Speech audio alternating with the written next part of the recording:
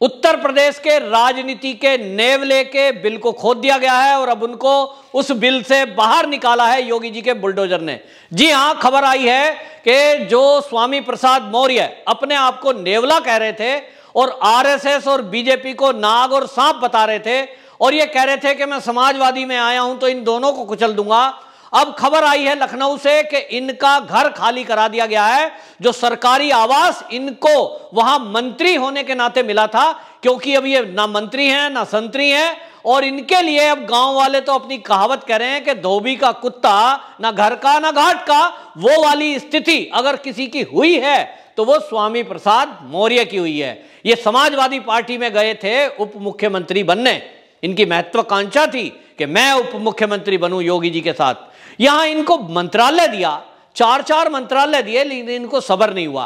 तो इनको लगा समाजवादी पार्टी आ जाएगी सत्ता में, तुम उप मुख्यमंत्री बन जाना। इनकी बेटी भी इनके साथ लगी फाजिल नगर में जिताने के लिए रातों के अंधेरे में। इनकी बेटी को भी देखा गया, लेकिन आज वो बेटी भी पलट रही है और बेटी कहती है, मैं तो पिता की मदद करने गई नहीं, जबकि चुनाव के पहले, वो कहती थी कि मेरे पिता हैं और पिता बेटी का एक संबंध है, लेकिन वो भूल गई कि वो भारतीय जनता पार्टी की सांसद है। उनकी कोई व्यक्तिगत पहचान नहीं है।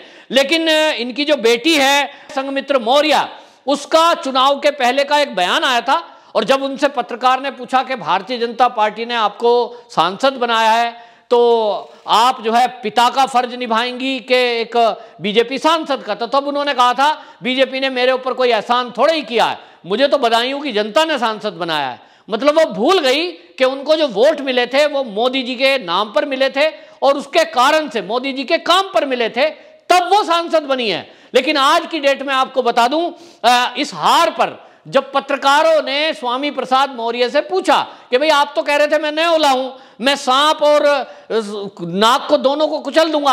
आपके बताऊँ जो उन्होंने बयान दिया था, उन्होंने बयान दिया था कि नाग रूपी आरएसएस और सांप रूपी भाजपा को स्वामी रूपी नेवला यूपी से खत्म करके ही दम लेगा। इस पर बहुत आपत्ति उठी थी कि उन्होंने इस तरह का बयान दिया, लेकिन आज जब पत्रकारों ने उनसे दोबारा चुटकी ली और पूछा कि स्वामी जी, आप तो कह रहे थे नाग और सांप दोनों को कुचल कर दम लूँगा मैं तो अखिलेश यादव को मुख्यमंत्री बना के दम लूँगा। और अखिलेश यादव भी मंच से बयान कर रहे थे कि स्वामी प्रसाद मौर्य के आने का इंतज़ार था। स्वामी प्रसाद मौर्य अब आ गए, ये जिधर होते हैं, वही मुख्यमंत्री बनता है। तो आज स्वामी प्रसाद मौर्य पनौती साबित हुए हैं समाजवादी पार्टी के लिए। ना जाते तो शायद जो लोग इनकी वजह से बीजेपी को सपोर्ट कर गए और इनकी खुद की जो इनका वर्ग है जिसको ये कहते थे, मेरा वोटर है। वो भी इनसे नाराज़ हो गया। आज की डेट में जब पत्रकारों ने इनसे पूछा कि, स्वामी जी, आप कुचलने की बात कर रहे थे, आज क्या हो गया? तो ये बोल रहे हैं, हमेशा बड़ा तो नेवला ही होता है। यह बात अलग है कि नाग और सांप दोनों ने मिलकर नेवले को जीतने नहीं दिया। ये अभी भी ये कहना चाहते हैं कि नाग और सांप दोनों मिल गए। तो स्वामी जी, आप चुनाव के पहले क्या कह रहे थे?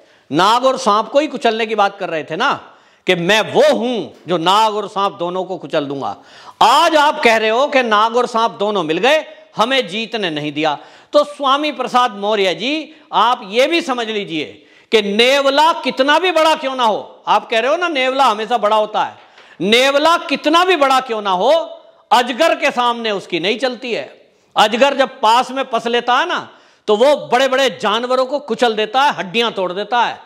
बीजेपी और आरएसएस, जिस संगठन के बारे में आप नाग और सांप की तुलना कर रहे हो, वो नाग और सांप है, वो नाग और सांप नहीं है, वो अजगर हैं। जिस बीजेपी की बात आप कर रहे हो, आज दुनिया में सबसे बड़ा राजनीतिक दल है। तो आप उसको सांप समझ बैठे, ये आपकी भूल थी कि आप सांप से भिड़ गए। मरना तो आपका तय था ही, क्योंकि नेवला सांप से भिड़े, वो तो समझ में आता है। कहीं फाइट कर सकता है। लेकिन अजगर के सामने नेवले की क्या चलती है? अजगर मुँह खोले तो नेवले को हजम कर जाए। और आज बिल्कुल भारतीय जनता पार्टी के उत्तर प्रदेश के जो रिज़ल्ट आए हैं, इसमें बिल्कुल ऐसा हुआ है कि जो भी इस तरह के नेवले, सांप, चुचुंदर फुतक कर इधर उधर गए थे, उनका हाल आज यही है। भारतीय जनता पार्टी में थे, आपको आदर, सम्मान, मंत्रालय, सब कुछ मिल रहा था। लेकिन आपको यह हजम नहीं हुआ। तो नेवले की फितरत है इधर उधर की कुछ चीज़ें खाने की। गए होंगे उस फितरत से, लेकिन आज की डेट में आप तो गए, लेकिन वो आज आपकी बेटी का भी अब भविष्य अंधकार में है, क्योंकि जो पार्टी की गाइडलाइन को फॉलो ना करे, जो पार्टी के कार्यकर्ताओं की बात को ना समझे, जो नेतृत्व की, उस परिश्रम को और उनकी योजनाओं को यह कहे कि मुझे तो जनता ने चुना है ये अहंकार की भाषा थी और अब इनकी बेटी का जो सांसद पना है, अब आप देख लें, दो साल बचे हैं 2024 में। जनता की मांग है कि हमको इस तरह के सांप और ये नेवले, इस तरह की बातें करने वाले और देश का और दुनिया का सबसे बड़ा सामाजिक संगठन आरएसएस, उसकी तुलना कोई नाग से करे। और ये उम्मीद भी करे कि भारतीय जनता पार्टी में जहाँ प्रधानमंत्री से लेकर कई सारे केंद्रीय मंत्री, वो आरएसएस से ही आए हैं, क्योंकि राष्ट्रीय स्वयंसेवक संघ भारतीय जनता पार्टी की जननी है, वो उसकी माँ है। राष्ट्र निर्माण में दिन रात लगे हुए लोग हैं, और आप यदि उनको गाली दोगे, केवल एक विशेष वर्ग को खुश करने के लिए, जो समाजवादियों का वोटर है, भले ही आप चुनावी सभा में उनकी तालियाँ बटोरने में कामयाब रहे, लेकिन वोटों में परिवर्तन नहीं हो पाया। और इसलिए जो अभी बंगला खाली हुआ है, अभी तो बुलडोजर ने केवल स्वामी प्रसाद रूपी नेवले का बिल खोदा है, अभी तो देखना कि ये बुलडोजर क्या क्या करता है। ये अखिलेश यादव ही हैं, जिन्होंने जो योगी आदित्यनाथ जी को बुलडोजर बाबा का नाम दे दिया है। अब बुलडोजर बाबा का नाम दे ही दिया है तो भाई बुलडोजर के लिए योगी जी ने बोल ही दिया है कि वो तो मेंटेनेंस में थे, शपथ ग्रहण के बाद वो चलेंगे। अब जब वो चलेंगे तो ये जिस तरह के नेवले अभी और हैं, अब वो सबको खोज खोज कर और उनको कुचला जाएगा। अब ये समझ लीजिए, राजनीति में इस तरह की भाषा का इस्तेमाल अच्छा नहीं है। ना इस तरह की अमर्यादित भाषा को भारतीय जनता पार्टी का कोई नेता बोलता है। आपने कभी नहीं सुना होगा। लेकिन ये, आप देखिए विपक्ष की भाषा किस तरह की है। इस अखिलेश यादव के मंच पे कौन कौन लोग आए? ममता बनर्जी आई तो वो उल्टा यही बोल के गई। कि अगर भाजपा आ गई तो तुमको खा जाएगी। किसको कह रही थी वो? कौन से राज्यों में जहाँ जहाँ भारतीय जनता पार्टी की सरकारें हैं, क्या वहाँ और बाकी धर्म और जाति के लोग नहीं रहते? क्या उनको लाभ नहीं मिल रहे? क्या उनको मकान नहीं मिल रहा? क्या उनको फ्री वैक्सीन वैक्सीन नहीं मिली? सब सुविधा मिली है।